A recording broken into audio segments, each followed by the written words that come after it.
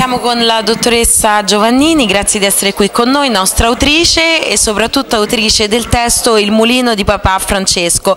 Di che cosa parla questo testo e come mai questo titolo?